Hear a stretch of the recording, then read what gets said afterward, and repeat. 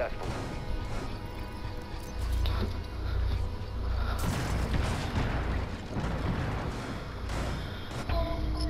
I got all of them.